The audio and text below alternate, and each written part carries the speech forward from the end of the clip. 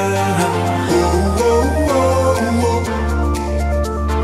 Girl, you better know that you're a heartbreaker